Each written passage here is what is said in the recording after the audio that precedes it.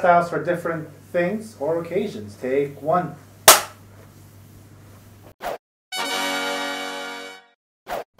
Hey guys, and welcome back to the channel. My name's Thomas if you're brand new, and I make style and hair related videos every single week. So if that's your kind of thing, make sure you hit the subscribe button and come back and visit me every single Monday. So in this video, I'm gonna be documenting different long hairstyles for different occasions. I had somebody in the Facebook group, if you haven't joined yet, make sure you go and join it, shameless plug. I had somebody in the Facebook group ask about this, like different long hairstyles that they could do for different occasions, and I found, just by uh, listening to you guys, that things like going for a job interview or going to your formal or even like casual, like deciding which hairstyles are going to work for longer hair is a little bit tricky because let's face it, the guys with the short hair, they can just go shaven sides, look slick, bit of Blumaan, and they look they look good for any occasion, right? But what about us? You know, like we struggle with big frizziness. We struggle with the length. We struggle with looking presentable in the corporate sense. Like there's so many like issues with that. And yeah, you're right. There's a definite need for this type of content. So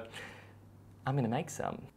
Oh, there's so many. I thought I'd break it down into four different segments as well. So we've got formal, we've got semi-formal, we've got business, and we've got casual. So there's going to be a lot of hairstyles that I mention here. Some cross over as well. Some can work with all different ones, and then others are just specifically like, whoa, you just don't cross that line. So for a formal event, let's like define what a formal event is first. A formal event to me would be something like, you know, a YouTuber event or a red carpet event, or maybe even like a I don't know, a book launch or something like that, or your actual formal at school, or I think you call it in America what do they call it? Prom.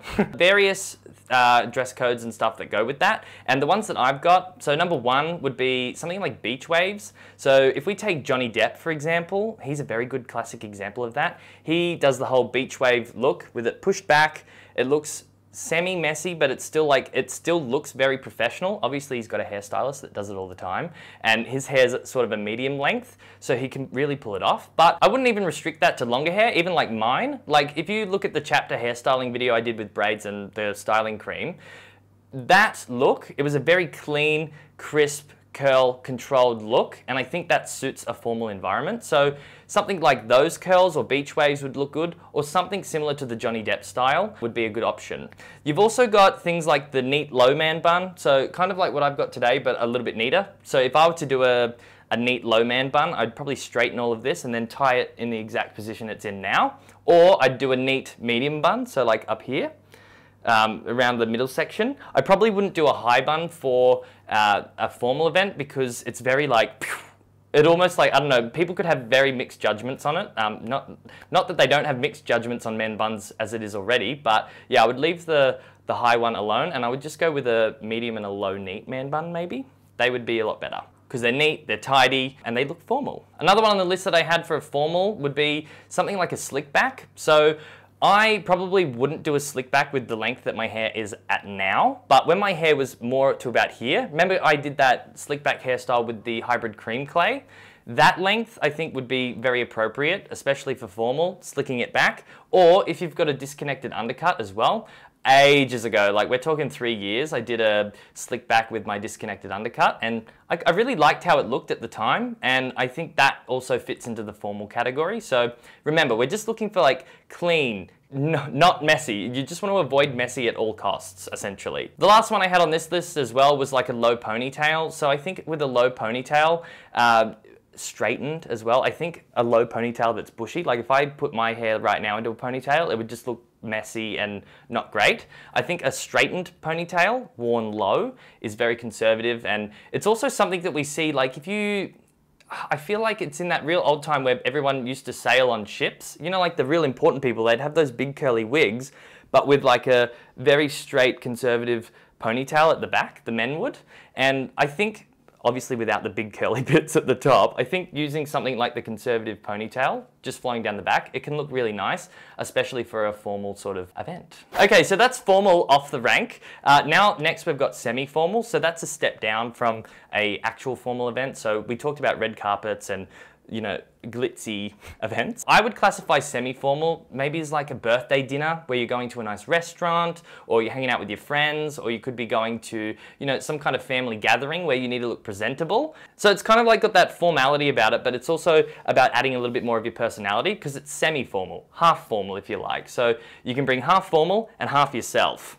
That's how I look at it anyway. So hairstyles that I've got for that is like an asymmetrical curly hairstyle. I like wearing this after I've used something like the Monarch paste. I'll kind of just swoop all of this hair over to the side, have a little bit tucked behind here, have it all flowing down, put product in it so it looks tiny, but it's asymmetrical and I think that's a really groovy look. That's the personality part and I would probably wear, I don't know, maybe like a dress shirt or something plain and conservative like this, like something black and tight, I think looks quite smart. I also think for semi-formal, any neat man bun variation can work here.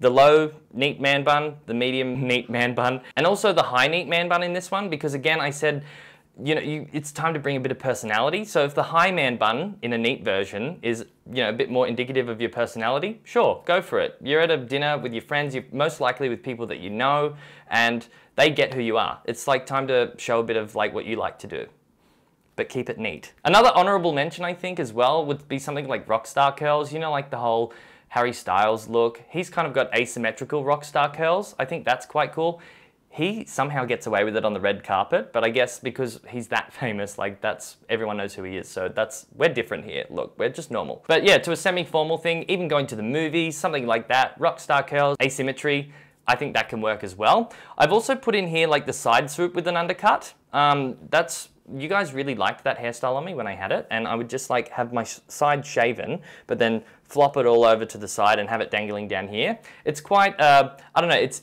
a, indicative of personality, but also it can look quite slick, especially if straightened and with the right products in it. Also, if you have an undercut, you could also try the man braid with um, the man bun and your undercut. I still think this looks very slick. It's one way that you can kind of get all of your hair in a controlled manner. You can show off a bit of that personality. You can show a bit of like difference and it still looks very like tidy and neat. And I think what contributes to that is the sides being shaven and having that clean cut. For me now, like if I were to wear all braids, I'd probably get flagged for cultural appropriation. I don't know, it's just a little bit more in your face. I would probably keep that more casual if you were gonna do all braids, but that's just my two cents on that. And the last one in the semi-formal area, I think something like the half up, half down man bun is really good, or like the Jon Snow highballer. Um, that's been one of my favorite hairstyles to wear lately for casual and semi-formal. It's, again, another one of those hairstyles that's indicative of personality, but also it's just one of my favorite things that I've been wearing, and I think it looks really good. Okie pokey, now moving on to category number three. So this is business. There's so little that you can do here. It's probably gonna be the easiest section because the corporate world, for some reason, they just wanna constrict everyone to being this one way, wearing black and white and tidy hair. It's kind of like private schools. Like, I just want to give them all the finger because it's just, uh, it's so restricting. I'm lucky that I can, you know, work doing my YouTube stuff and I work, you know, online. I actually work from home, so I don't really have any restrictions in how I can look, but I still am in business and I can do that. So I've seen the other side of corporate and it doesn't have to be so restricted. However, our culture is built around a really restricted business setting. So you do have to have that clean haircut. You have to have like very prim and proper. You got to wear like tuxedos or like dress. It's dressy, right? I cannot stress that enough. On top of that, like going for job interviews, knowing that the fact our culture's like that, you do want to go into a business like interview or a meeting or if you're getting hired for a job, you do want to make sure you're following that corporate look because first impressions really count. And if you're going for a job that you really want, like we mean business. So enough rambling on that, um, but let's get into the hairstyles. So with these, I've put a neat low man bun. So again, I would, if you had hair like me, I would straighten the F out of it and then make it look really slick and tuck it down below, just so it's very conservative. Or I would, I don't know, I'd be reluctant to test the waters, but I still think it's possible to wear the mid-man bun because if you look at it, they're not that much different, like in the placing of them. So you could go with a neat or a middle man bun, but very neat. And you could also, if you've got the undercut, again, the slick back could really work with that as well because your hair's all out of your face, it's slicked down, you look clean cut, and you can go from there. That's all I would say in business. Very restricted.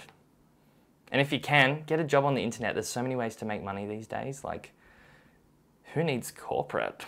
All right, and moving on to our last category, which is casual. Now, this all comes down to your friend network, how you feel about yourself inside, what you're doing with your look. It's pretty much free reign on anything you want. Messy, blah, blah, blah, blah, blah, blah, blah. You got it. The ones that I listed, like the ones that are my favorite, are out and crazy. So wearing all my hair out after I just add a little bit of product to it. Uh, I'm really, really loving that right now. Side swooping, so that again, like that can look really good messy as well. If you want to be shining out your personality, doing a hairstyle like that is great. You can do it straight, wavy, curly, messy, really tight, whatever you want. I feel like a side swoop always looks good. Also messy waves, so again, very similar to the Johnny Depp style. I think this is perfect for casual as well if you can pull it off. Getting a keratin treatment has allowed me this this function of being able to wear messy sex hair. it's my favorite thing. You could also try with different accessories like caps or hats. For me, wearing a hat like a fedora, I think that's totally fine for a casual setting, whether you're going on a picnic, going to the movies as well, hanging out at home, hanging out at a barbecue with your friends, like whatever, a hat a cap, anything like that, accessory wise, kind of suits the casual setting because really when you pull up to the casual setting, you're pulling up as you, like it's cash. I'd also recommend braids as well, depending on whether you have, you know, the undercut or not. Even hair like mine, I still catch myself wearing braids every now and again. I'll either do like two along here, or I'll do three, so two along here and one along there, or I'll even do four, whichever you're feeling, you can do that as well in a casual sense. And Lastly, I think just any type of man bun you want. So you could be like high messy, high low, neat low, neat messy, like every, neat messy. But every variation I did in my 10 man bun hairstyles video, you could go with that with casual as well. I don't think anybody has the right to tell you what you can do with casual. It's up to you and how you really feel. That's essentially it. But they are my favorite things to do. And that brings us to the end of this video. So I hope you guys actually found that pretty informative. It is quite a confusing topic, like what's formal, what's semi-formal, what's business attire, what's this, blah, blah, blah, blah, blah, blah, blah. And knowing what hairstyles to wear, especially when you've got long hair, I do know that it can be quite tough. So I really hope I was able to bring you some value here today. If you have any questions, make sure you shoot me a comment in the comment section below and give this video a thumbs up if you liked it. because you know it helps me out, all right? Please make sure you hit the subscribe button and I will see you next week for another video, okay? See you later.